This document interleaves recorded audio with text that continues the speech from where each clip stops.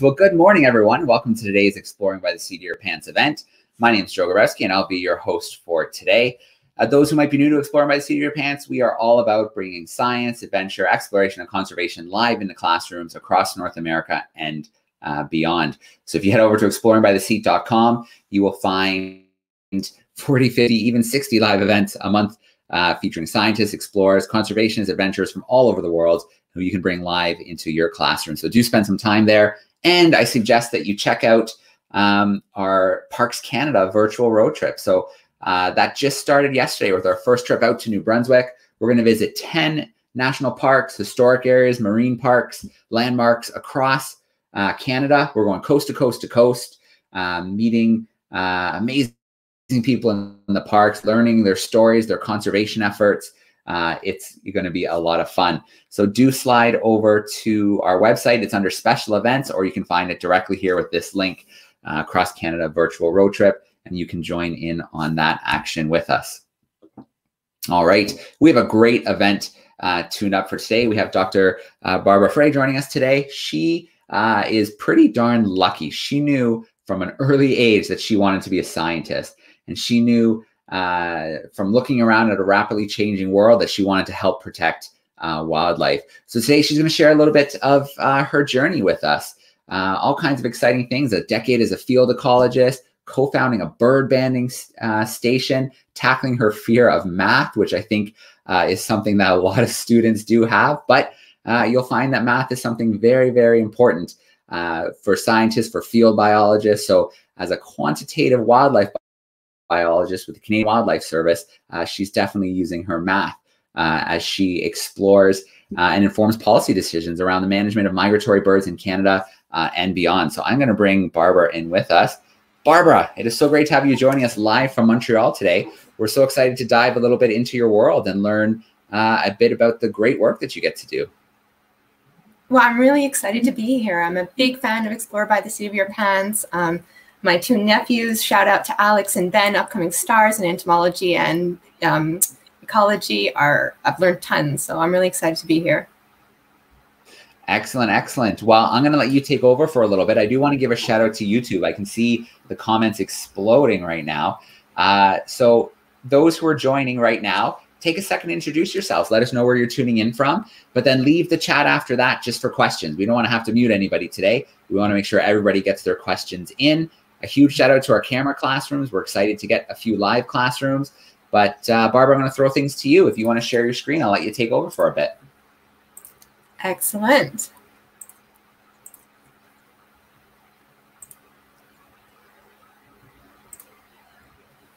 So it's rolling? We got it. We're ready.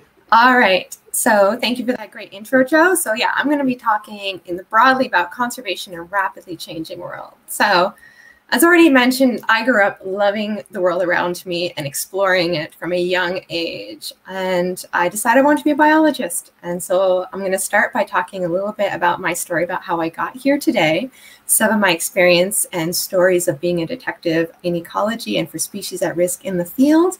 And I'm going to add a little couple questions throughout. So there'll be three short questions. And if there's time to type in your answers, I'm going to pause briefly. And if not, don't worry, there'll be a lot of chance for questions at the end. So who am I? I'm a scientist. Um, I have a doctorate, which means I went to school for a really long time, but I strongly believe you don't have to do that to be a scientist. If you're asking any questions about the world around you or about yourself, you are a scientist. I'm a mom, I'm a bird bander, I run a bird banding station, and I've been in ecology and in the field with birds for a long, long time. So after I finished high school, I only wanted to be a biologist, which means I needed to go to undergrad for doing a bachelor's of science. And I started to go to Carleton University. And in my first year there, I was pretty overwhelmed by everything I was learning a lot of textbooks, a lot of labs, a lot of papers. And while it was interesting, I felt like something was missing. I already wanted to get out there. I was anxious to start and start making a difference. And I couldn't see kind of how what I was learning might connect to the real world. And I was walking down the hall one day when I saw a poster and it said, Do you like ducklings? And I thought, well, yes. Yeah, I do like ducklings. I mean, who doesn't like ducklings? But it was an advertisement to be a field assistant in a research project, which I didn't know about. So I spent that summer, which was one of the happiest yet dirtiest summers of my life, in chest waders wading through ponds and wetlands and even sewage lagoons, which are pretty much as stinky as they sound in Eastern Ontario. And I just fell in love with this idea that I was collecting data that was going to help make decisions about wetland species such as wood ducks and red-winged blackbirds, how they were nesting, how they were doing, and how we could best manage and protect them. So I became determined that that's what I wanted to do when I finished university. So I finished my bachelor's and I went on to McGill University to do both my master's and my PhD. So that's graduate research time. So that's you continue to be a student, but you're really hands-on. You're doing the research and you're learning as you go. Now, I wanted to make the biggest difference I could, and I wanted to make difference that was really needed at that moment in time. So I decided I wanted to work with species at risk. So get ready. Here's the first question coming. What is a species at risk? And my next follow-up is just, can you think of any species at risk? So I'm just going to pause. And Joe, you can see in if any of things are coming in. Yeah, absolutely. So if you're tuning in live via YouTube, type an answer in for us uh, in the chat sidebar. If you're joining us on camera, one of the educators, and your student sends a good answer in, just pop it in the private chat uh, and we'll work some of those in. But uh, we're going to give a few seconds because there's a small delay on YouTube and we'll see if we get a few answers in uh, to those questions. So what is a species at risk and can you think of any species at risk? I'm interested to see what's going to come in here. Uh, well, I got tiger pop in right away uh, on YouTube. So that definitely, I think that's a good fit. Yeah, that is a species at risk. Panda coming in from Miss Huxley's group. That's definitely a species at risk. Oh, more comments popping in via YouTube. Species at risk are animals that are endangered. That's from the Angry Triplet. Polar bears, Persian lion, monarch butterflies. Ooh, uh, good answers. Good answers coming in. Endangered species. So their answer to the first one is endangered species. And then they're saying orcas, gray fox, polar bears, narwhals. Uh, that's great. Oh, lots of comments coming in. Let's see. Uh, animals at risk of going extinct. So yeah, lots of great. Uh, uh, Charlotte says close to going extinct, like the panda. I think we're getting some good answers there. Yeah, basically, you guys are hitting all the right answers and great examples. So, a species at risk is typically a plant or animal that's at risk of disappearing or going extinct. So, exactly right. Round of applause. So here in Canada, um, there's four different kind of categories that you can have a species at risk. So scientists and experts come together and decide whether a species is at risk, and then it gets put in these one of these four categories: special concern, threatened, endangered, or extirpated. And then if it goes all the way up, it's extinct. So that means it no longer exists anywhere in the world, and that's a really sad, sad when that happens. So those are some great examples of different species. Some of those from Canada, some of those from around the world and they can fit in those different categories. So here in Canada, there's over 600 species of plants and animals that are listed by COSEWIC, which is that independent group that makes that decision. And once they're listed, they're protected under SARA, which is a Species at Risk Act. And in the United States, you have Endangered Species Act. And different countries have these different laws to protect a species. So this is a good thing when it happens, but a sad thing when it happens because it means we need to protect them because they're getting that rare. So that's what I decided I wanted to work on. I wanted to work with these species that were in trouble. So I thought, well, in order to find those species, I'm going to have to go to the high Arctic or the tropics. I'm going to need to go to these far off exotic places. And I was really surprised when I discovered that in Canada, most of the species at risk are pretty much in my backyard. So this is a map where in red you can see is the highest numbers of species at risk in the country. And they're often where a lot of people are. So there's two reasons that the species at risk are highest in that southern area. One is because Canada's pretty chilly. So our greatest biodiversity and greatest diversity of habitats overall is at the southern edge. But the second and more important reason is because these are the areas that are mostly modified or influenced by human presence. And sometimes as humans can make it pretty difficult for species to survive and live in these areas. So I didn't need to go far to find species at risk. I also decided that I want to work with birds. First of all, I, I, kind of fell in love with them. They're really neat. They're these neat indicators of biodiversity in general. They, they are found in so many different places of interesting ecology, but also because a lot of them are disappearing really quickly. So I think earlier this year, my colleague Adam Spitz presented some of his work on this paper, which showed that in 50 years, we've lost 3 billion birds. So we have 3 billion birds less, almost 2.9, than we, we had 50 years ago, which is a huge decrease. And some of the species that are declining the fastest are the grassland bird species. So you can see on the all the way over the right in that in that picture, which is minus 53. And that second chart at the bottom, you see this as grassland birds and also aerial insectivores. So aerial insectivores are birds that catch insects that are flying in the air. So that led me to want to work with these two beautiful species. I'm a bit biased, but these guys are really cool. The bobolink on the left, which looks like it's wearing a backwards tuxedo, and the red-headed woodpecker on the right. Now, the bobolink is basically the poster child for grassland birds. Over 80 to 90% of it, this the population has declined over time. Similar for the red-headed woodpecker. And red-headed woodpecker, even though it's a woodpecker and it pecks on wood, it flies out to catch a lot of the insects. So it's in a way an aerial insectivore. And what also really interested me is these were not naturally rare. These are once really common birds, and they're now disappearing. And that can have a huge ecological effect when you have a lot of a spe- of, a, of an individual species and they decline, there's a lot of different things that are going to interact with that species and it's going to happen. So now it's my turn to the story about the bobolink. So the bobolink is this great bird. Um, it sounds a little bit like R2-D2 from Star Wars. It goes bloop, bloop, bloop.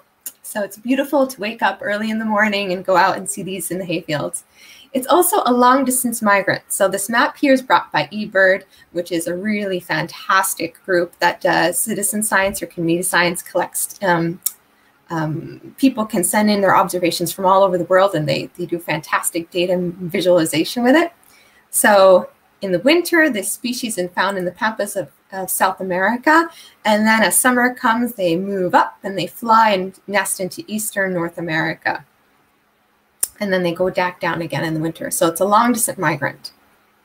Now they used to go to the tall grass prairies, which is a habitat that existed 200 years ago, but is now pretty much gone. So they're found in other grassy areas or anthropogenic habitats. And anthropogenic habitats are habitats that are created and modified by humans. So they're found in hayfields and grassland and pastures, anything big grassy areas. Now, the bobolink comes from its long trip from South America and it needs to find a place to nest. And it wants to put its nest in the safest place possible because its babies are right on the ground in a little cup. So it's evolved and adapted over centuries to learn where's the best place to put that nest so that it's successful and its babies can grow up strong and healthy. Now knows it needs to stay far away from the forests or trees because that's where predators such as raccoons and skunks will come and sniff that tasty treat and eat their babies. It's also learned that it needs quite a bit of overhead protection and cover from attack from the sky, such as from the northern harrier or other hawks. So based on this learning and adaptation over years, it chooses that best spot to place its nest. So it should be able to raise its young. That's when the unexpected happens in this rapidly changing world that we're living in. There's a big change that happens, which it cannot find clues for in the landscape we are cut grass or we let cattle in or we change the environment in such a way that is really destructive. I mean, when this happens, basically the nest is completely destroyed and the young are killed, and the birds have to fly all the way back to Argentina without having been successful. And the worst part is it can't predict it. There's no clues that it's adapted to to discover which one of these two hayfields is going to be cut and those lose all its babies and which one won't. So that's when maladaptive habitat use comes. So here's my next question. Kind of you some clues, but what do you think maladaptive means? All right, that's a good one. So we'll give a minute for our camera classrooms to pop something in the private chat. Uh, those on YouTube will get that question very shortly, and we'll let them start to put that in. So maladaptive, what do you think that means? loving the participation so far, Barbara. Uh, tons of uh, answers coming in via the chat, so that's great. While we do wait for a couple answers, let me zip back up to the top of the chat. I'm going to give a few shout outs to some classrooms who already introduced themselves. Um, let's see. There we go. So we've got some a grade five class hanging out with us. We've got um, some grade twos hanging out with us in Ontario, some seventh graders. Um, lots in the chat. It's hard to kind of get it to hold still so I can read out some of these classroom uh, names who are joining us. So that's great. Uh, if you haven't introduced your class and you're an educator, please do take a moment to do so in the chat. Oh, seventh graders, virtual East Elementary in Oakville. Good stuff. Okay, so a few answers coming in here. Maladaptive, not good enough for animals to live. Um, others are saying not adequate uh, or appropriate adjustment to the environment or the situation. It means Ooh. animals aren't getting the stuff that they need, is another one there. They're not adjusting properly. Um, from our live groups, uh, Khalid thinks maybe having trouble adapting, unable to live in its uh, natural environment. That's from his Huey's group. Um, let's see. Yeah, they can't find a new habitats. Another thought. So lots of good thoughts. What What do you think, Barbara? These are excellent. Great job, guys. You have hit it on the head. Maladaptive. I like to say it when good species make bad choices. So um, adaptive habitat use be the example that I used of over centuries the species evolving to notice that, hmm, if I nest near the forest, those raccoons are going to eat my baby. So I'm going to move away from the forest. That's a good choice. These species are making bad choices. That's exactly right. They're unable to make correct their behavior for uh, to, to be able to um, adapt and live in the situation. I think the people in the chat actually said that better than I did. So it's exactly right. They're not able to clue in that the hayfield's going to be cut or that the cows are going to be let in the pasture. So they keep returning to places where they actually do worsen. And then that happens, that's called an ecological trap. And as a conservation biologist, that's really scary when that happens because it's really difficult. There's nothing that species can seem to do, at least in the short time frame. You know, maybe it's only been 50 years that the hay's been cut earlier. But that species has disappeared by 90% in that 50 years, it's going to have a really hard time to catch up. So moving on, it's the next story about the red-headed woodpecker, which also has a bit of a sad, similar story.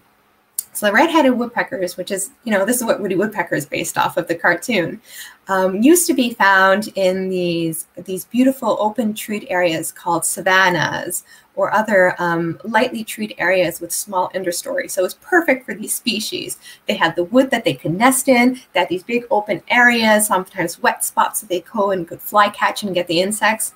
Dream red-headed woodpecker habitat land. Unfortunately, these have also completely, almost completely disappeared through human use because also it's a really nice place for humans to live in and to, to um, have agriculture in. And they've moved into another anthropogenic habitat. These are golf courses, city parks, other urban areas which have short grass or not a lot of shrubs and these tall trees that they can live in. But there's somebody else that has moved into these areas there's an invasive species called the European starling. And the European starling needs to nest in holes, but it's not a woodpecker. It can't make its own holes. So what does it do? Well, it tends to choose the same habitat that the red-headed woodpecker is now choosing, which means there's a lot of aggression between the two, and that they often steal the red-headed woodpecker's nests. And even if they don't steal them, sometimes they agitate them enough that they just don't do that well in those areas.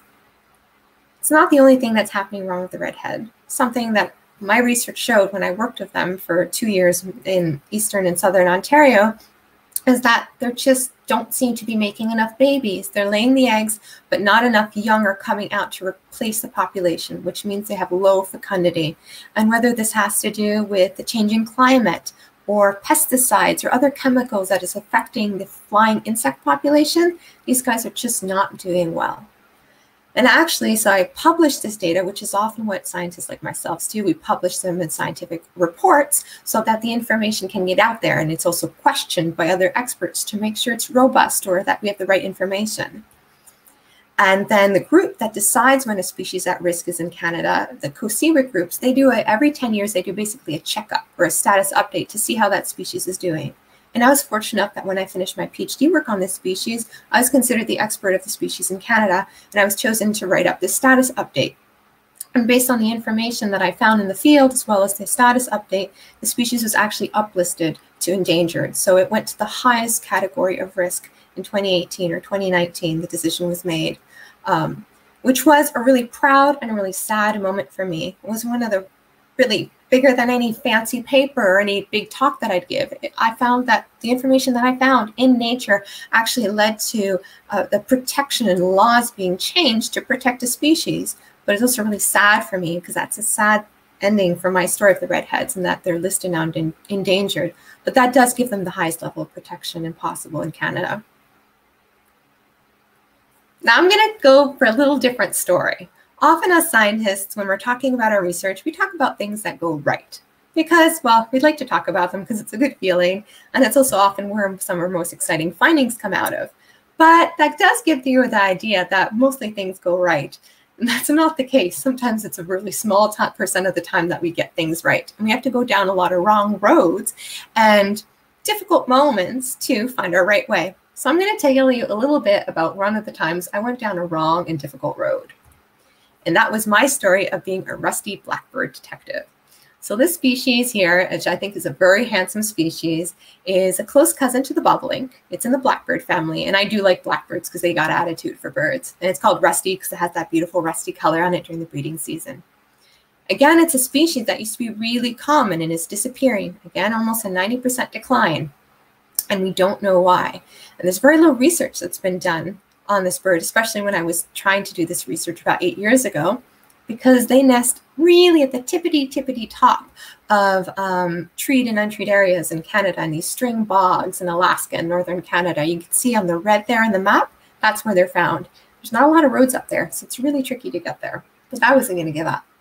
I heard that there is a um, small population in Algonquin Park in Ontario. So I decided I was going to spend a summer there to find them. So I got myself a big red truck and a canoe, and I spent almost three months almost every day, 12 hours a day, getting up at four in the morning, coming back to the field camp at six o'clock at night, looking for these birds in all conditions. Did I find them? I did. Some, some of them. Found some males and some females in the top left corner. You see the black and the gray. I even caught some in what's called mist nets, which I do have a permit to do, and I'm very careful when I do it. I found nests. I even found some babies, and I abandoned them but it was a pretty tough slog. It was cold. It was hot. It was very, very buggy. I donated a lot of blood to the ecological food web that year. There's also other species that were in the park that I had to be careful for. And then out of all those pictures, it's actually the bottom right-hand side where I was most scared. You can't tell in that picture, but I am soaking wet because I fell through a bog. Falling through a bog mat is a little bit like falling through ice, where if you fall through, the bog can close up after you. I was lucky, I just got really soaked, but it did make me nervous. So that was a tricky time. And after all that time, I only found four nests. Now, that's a problem with working with a species at risk. It can be really, really tricky to find them, and you do mathematically and statistically need to find enough so that the answers that you find to your questions, you know, are the right ones. But I wasn't going to give up that easy. Okay, I thought, I just didn't go high up north enough. So, how was I going to get up there? There's no roads, but there's planes and helicopters. And because I was a bird bander, I could volunteer to be a goose bander with the Ontario Ministry of Natural Resources. So I drove from Montreal 12 hours up to Timmins, and then I flew up to Moosonee, and I flew up to Attawapiskat, and then I flew up to Peawanuck, which is in Polar Bear Provincial Park. And it's 200 people, isolated, fly only, Cree community, which had an office there for scientists to go. And I banded snow geese and Canada geese, which means I got to really neat experience banding geese, going out, um, getting to see some caribou and seeing some polar bears from the helicopter. And I could see the string bogs. So that upper right hand corner picture, that's where I thought those rusties were. But I couldn't get there. And I couldn't ask the helicopter to stop because helicopters up that far north, you're talking five, six thousand dollars an hour, and that would have blown through my budget really fast. So instead, I thought, well, I'm going to see if I can find them on foot. In the evenings, after I was finished my goose banding, I would go back to the to um, our the the park office, which is pictured there, and I'd walk out on the tree up lines. You can tell in the picture on the right, I'm pretty miserable. Black flies were really bad. The slogging was really hard. I wasn't finding any rusty blackbirds.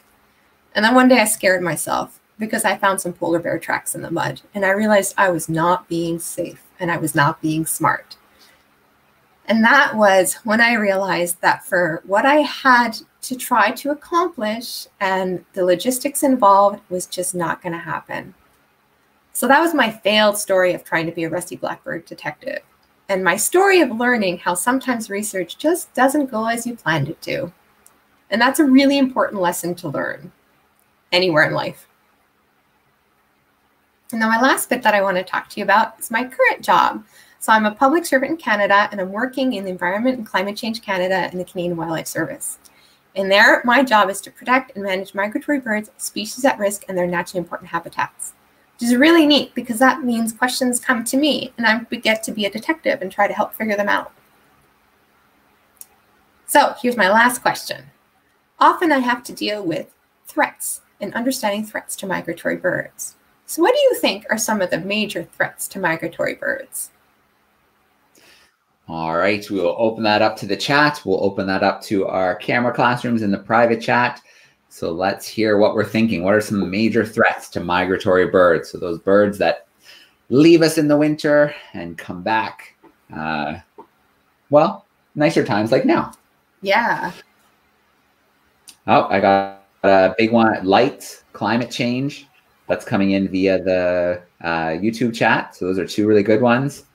We've got a couple coming in via our camera classrooms. Climate change from uh, Miss Huxley's grade six class, or sorry, Miss Huey's class, grade six class.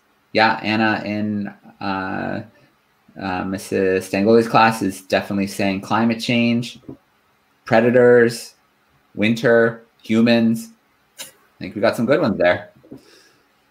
Yeah, Plastic. these are some plastic. Ooh, you guys are hitting. This is a winning class. A's all around. Hmm. Yeah, so these are some of the major threats for birds in Canada, as um, said by Birds Canada, which is a really great NGO. And they listed five major threats.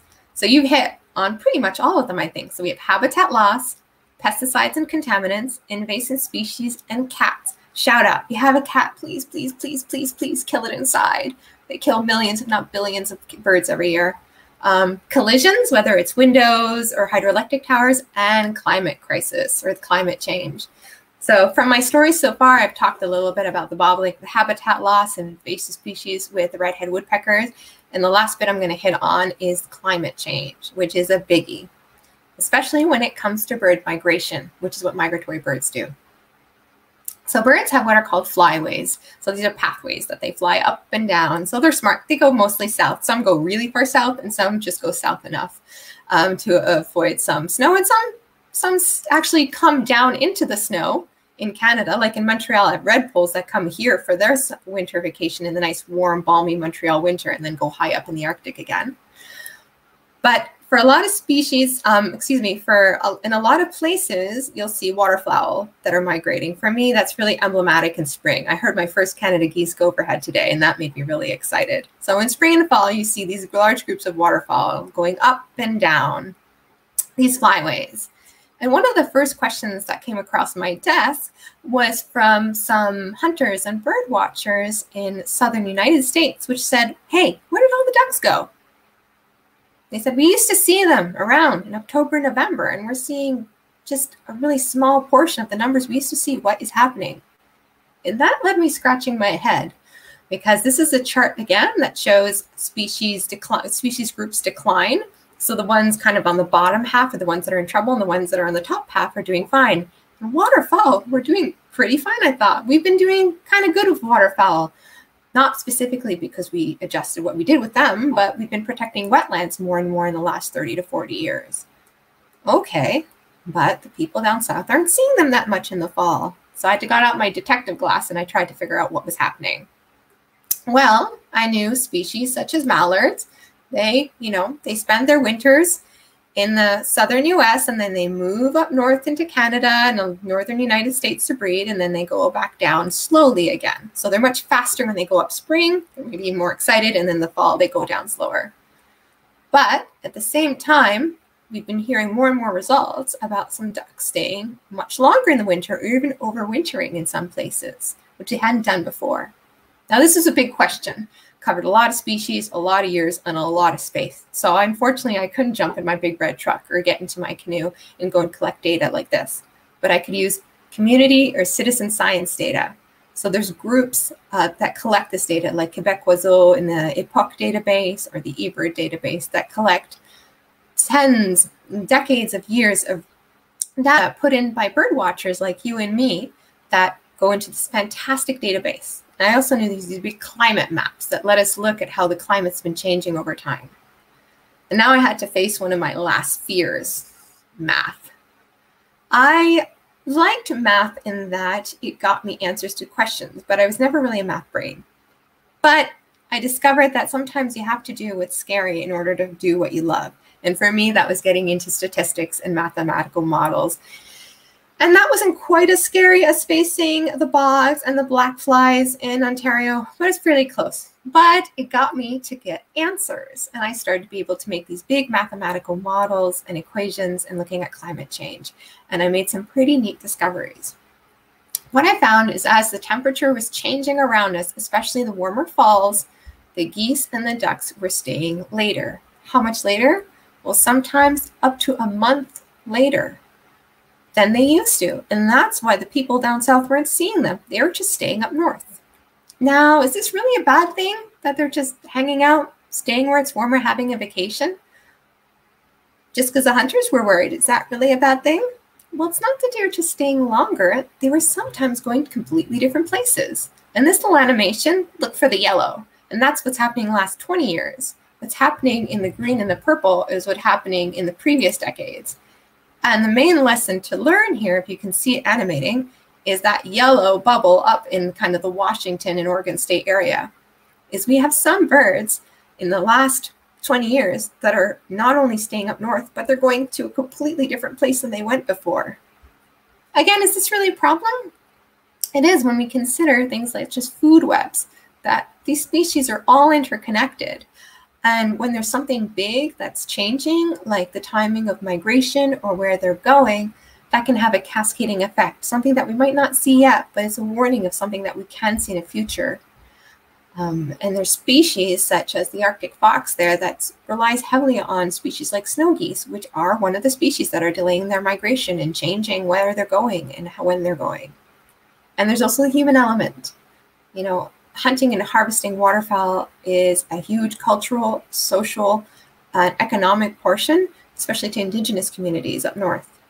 So these were all important things for me to consider. And this is a question I haven't finished answering. My detective hat is still on, and I'm still working on that today. So that's a little bit about my story, about what I've done. Um, and um, I'm going to leave you with one final message that says, if you take care of birds, you take care of most of the environmental problems in the world by Dr. Thomas Lovejoy. I don't know if that's always the right answer, but it's not a bad place to start. All right, awesome. Well, Barbara, thank you so much for those great stories, for taking us a little bit uh, into your world, and of course, sharing failures, right? We all like to share the good stuff that happens, but uh, I think we all know that we make mistakes, things always don't work out, and it's what we do after that that's important, how we use that. Very, very cool. All right, well, let's get into some Q&A action. I'm going to start bringing in some of our classrooms. Uh, let's start with Miss Huxley's fourth, fifth graders in Caledon, Ontario. Let's bring her in. There we go. How are we doing, Miss Huxley? Uh, we're doing great. We had some, uh, I'm sorry, we had some great uh, ideas for your earlier questions. And I'm just looking to see if they're, okay, they're, they're helping me here. Did you ever find a bird running away from their habitat. So totally moving from one habitat to a different type of habitat. Oh, that's a really good question. Um, there are cases where you do have, and I'm trying to think of examples. Uh, you do have cases where you have species that are are changing. Hmm. They're often moving to what we call anthropogenic habitats. So the habitats that are completely different and they're man-made. I mean, such as the hayfields, they didn't exist, and then they're they're moving to this because superficially or on the surface it looks like what they need, and then they start using that habitat. And sometimes they realize, oh, this isn't happening. Um, you know, an example is it's it's a short-term habitat use, but you have um, when the oil is being processed, they create these big water reservoirs and you have problems where you have ducks landing in this because it looks like a nice big pond but actually when they land in that they get stuck and they can't go anywhere uh, which is really really sad when it happens so that's like the ultimate ecological trap because it looks great and it causes almost immediate death um, So you do have a lot of these species that are moving over to these anthropogenic habitats. And sometimes you have success stories and sometimes you find solutions where it works really well.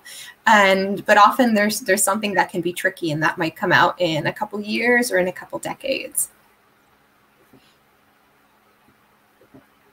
Okay, great question to get us started. Thanks so much uh, to our grade four fives. Uh, let's see, Miss Huey is joining us. They are grade sixes, Hamilton, Ontario. Let's see if we can bring uh, them in with this. Oh, actually, I don't. Oh, they were there to start, but maybe they dropped out. So we'll switch gears. Uh, we'll see if they're able to come back in and join us. We're going to go now to Toronto. We've got some grade sixes uh, with Miss Stangola. So let's bring uh, her nice front center. There we go. Hi, good morning. For a very informative presentation. Um, I've got a number of questions here from students. Uh, what was the most interesting animal species that you've uh, investigated and why? And what were three unique features of that species? Oh boy. Um, hmm. Okay. Well, for me, I really enjoyed working the red-headed woodpecker.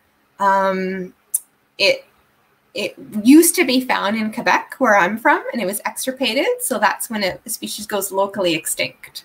So for me to, I moved over to Ontario and I could start studying it, and I found it. Three things that are really neat about this woodpecker. One is that um, if you think of woodpeckers, they're these big, clunky, they have that big bill. They're not the best at flight compared to a swallow. They're kind of like look like a dinosaur and to see them go out and catch these insects on the wing, which means they go out and they catch them, was really neat to see.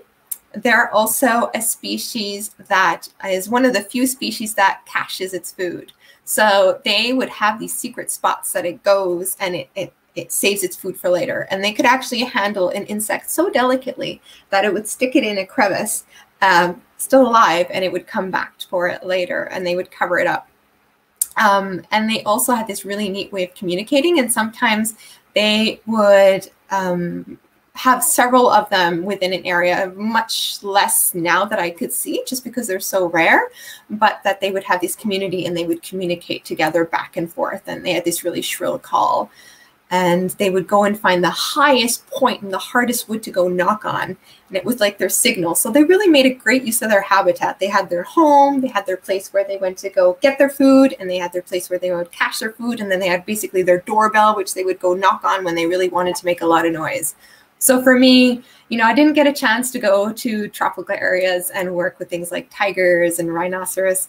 But for me, that was a really neat way to watch a species. I love just watching species behavior, and they had a lot of attitude.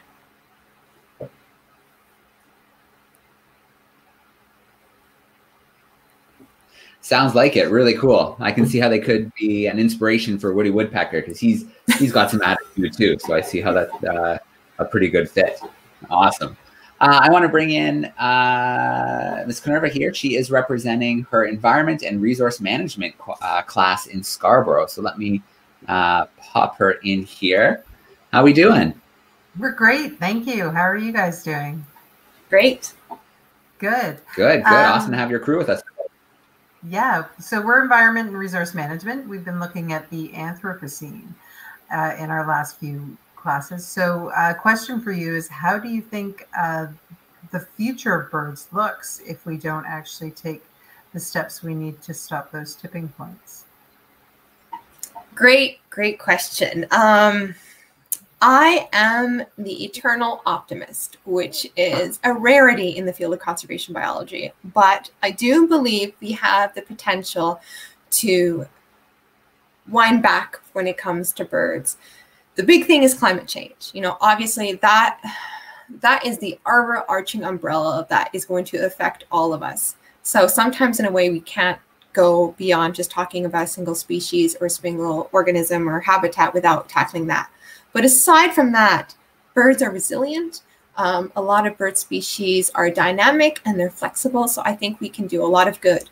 And there's some really simple solutions that we can we can do. I mean, some of the big things, like again, I said, just keeping your cats inside. Cats can kill up to three billion birds a year in the United States alone. 100 67 million in Canada alone. Um, cats actually kill more birds per year than window collision, pesticides, um, harvest like hunters, um, all these things put together. So, you know, in a way, that's a really easy solution to make a big difference for a lot of bird species. And the more we learn, we have the capability to shape our environment. And I really believe that there is a place for species and humans to coexist on the planet. So I'm hopeful. And I think there's lots of good things we can do. All right. It is good to have that hope. Uh, and you're right. That's that, you know, that is the beautiful thing about a lot of species uh, and habitats is given space, they are resilient and they can uh, bounce back and quickly in a lot of cases, but it's, it's giving them that space, that protection in the first place uh, that they really, really need. Um, okay, I want to introduce a class who's joining us. They're a grade five, six class uh, joining us. They are with us in the call.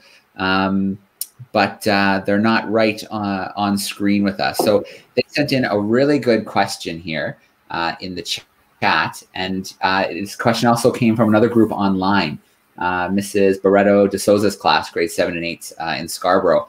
And they're really wondering, you mentioned cats as you know one solution, keep cats inside, but is there something students can do at a student level? Maybe you're in elementary school, maybe uh, you're in high school. Is there something that we can do to help birds? Great question. Uh, so there's, yeah, there's different things. So one thing that my five-year-old helps me with is you get out a highlighter. Yellow one's good. You open it, you go to your windows, and you mark it. There's ultraviolet in here. Birds can see ultraviolet. And especially if you make it look like a spider web, that's going to be something that a bird's going to want to avoid, naturally speaking, because they don't like to get in the spider webs. It gets all over their feather, messes them up that will keep birds from flying into windows. It's easy to do. It doesn't hurt your window. You do it every once in a while, and it's going to help stop bird collisions. And that is something that you can do right from your own home. Um, you can plant natural plants. If you have parents that drink coffee, ask them to drink shade grown coffee. It actually makes a really big difference for a lot of the birds that we see here, like rose breasted grosbeak, which is a really beautiful cousin of a cardinal. Um, and they go and they live down in the, the tropical areas in the winter, and having shade grown coffee makes a huge difference as a habitat. Again, an anthropogenic habitat, but a good anthropogenic habitat for them to live in. Um, you can reduce plastic waste. I think a colleague of mine, Jennifer Provencher, did a whole bit about seabirds and plastic pollution.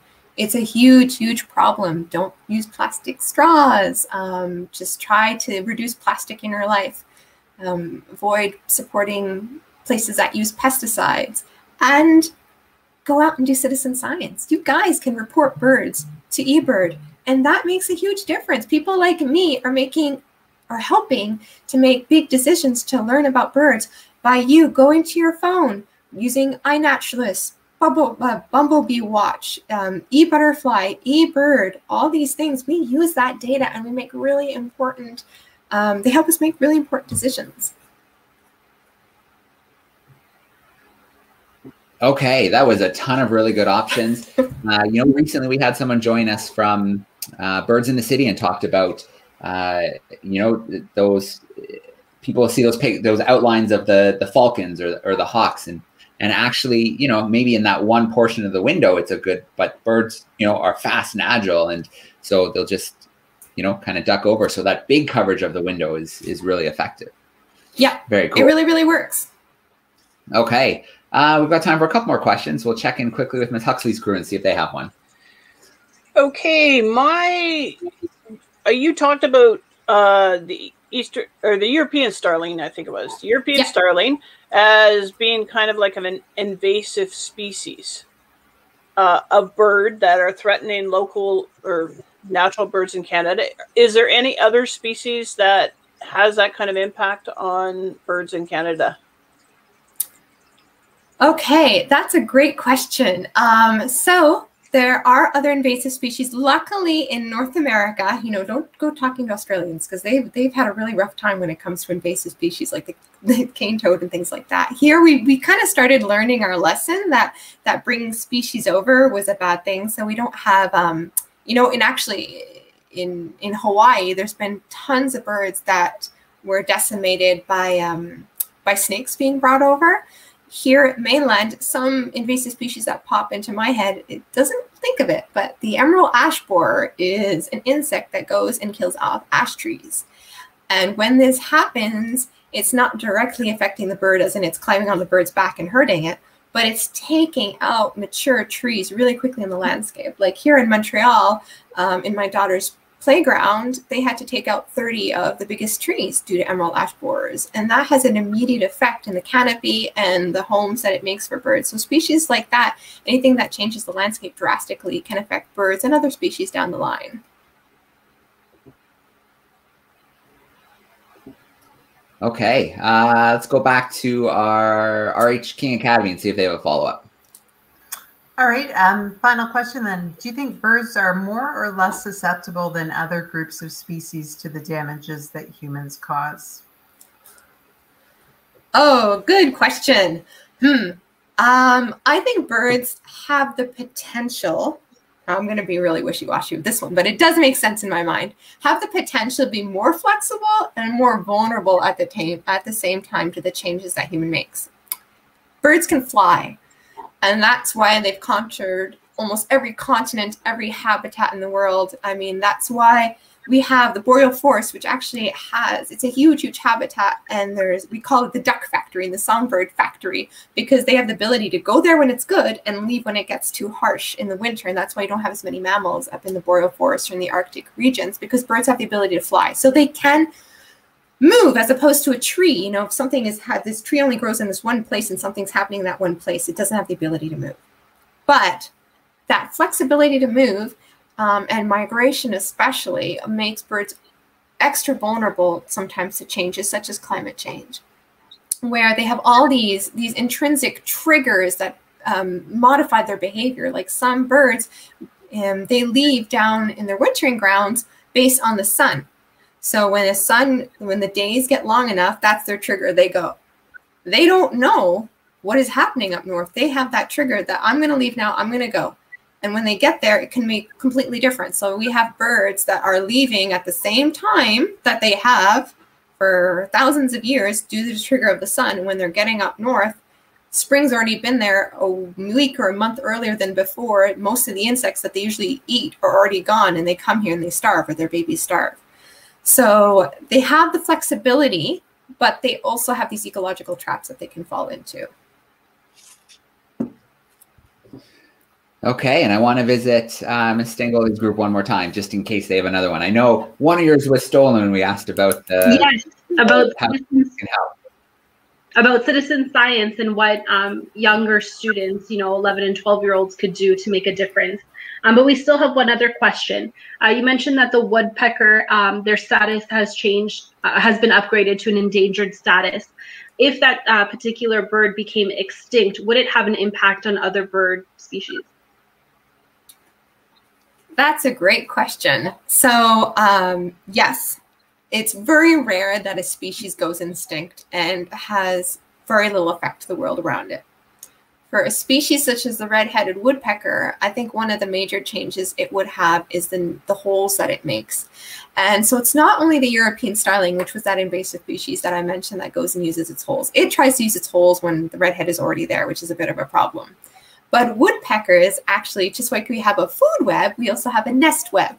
And that just means an interaction between different species using the same resources. So red-headed woodpeckers, when they make their hole, that hole, they won't use it the next year, but it'll still be there in the environment, which means it's a hole for species such as chickadees to go in. Or, and, and we found all sorts of creatures use woodpecker holes. It can be um, mammals, it could be bats, it could even be snakes, it could be bees.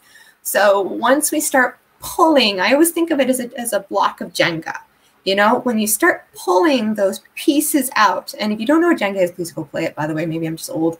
Um, it, that tower becomes unstable. And that's the problem when you're removing species. Sometimes it's not that individual species, but it, it, it adds instability or problems to make that tower start wavering, and it just makes it more likely that everything's going to fall apart. So we never know what's going to happen until we start pulling those blocks. we don't want to try that. No, no, not a good experiment to play with ecosystems, and especially since we depend so much on biodiversity for countless things, everything we use in our everyday life. Biodiversity is pretty uh, darn important for us. Barbara, I want to start off with a huge shout out to all the classrooms on YouTube. Thank you for sending in all the great questions. Uh, a big shout out to our, our, camera crew. Thank you to the classrooms who joined us there today and the questions. And Barbara, uh, just a great presentation. Thanks for sharing a little bit of your story uh, and you know just what it means to to be protecting and conserving uh, birds and a little bit of life as a biologist. Very cool. And I just want to invite anyone, if you Google my name, you'll find me online, you'll find my website, you'll find my email address. Please, and on Twitter, I'm Barbalink. Please don't hesitate to shout out and ask me any more questions. I'm always happy to hear them. All right. Well, I hope everybody has a tremendous weekend. Like I said, head to exploringbytheseat.com to find just a crazy number of events coming up uh, over the next few weeks. We're looking forward to seeing your classrooms again. Thanks, everyone. Bye.